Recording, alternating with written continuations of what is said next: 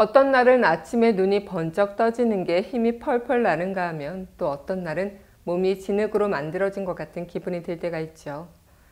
몸이 힘들면 마음이 가라앉기 마련입니다.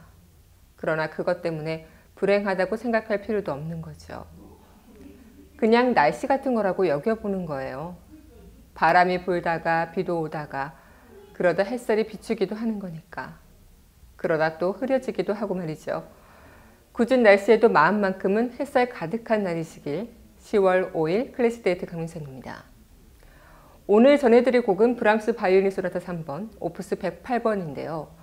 작품 번호를 붙여 출판했던 세 편의 피아노와 바이올린을 위한 소나타를 완성시키기 위해 브람스는 꽤 이른 시기부터 바이올린 소나타 양식을 탐구해 몇몇 작품들을 작곡한 바 있습니다.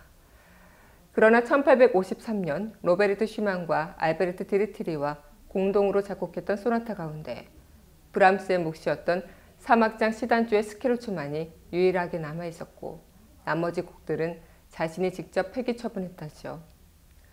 그만큼 엄격한 자기 비판과 고전 양식에 대한 창조적인 연구를 거친 그는 1번 교향곡을 작곡한 이후 자신만의 유일한 스타일을 완성시킬 수 있었고 이런 과정을 거쳐 원숙기에 접어들어서야 비로소 1878년부터 88년 사이에 세 편의 바이올린 소나타를 작곡하게 됐는데요.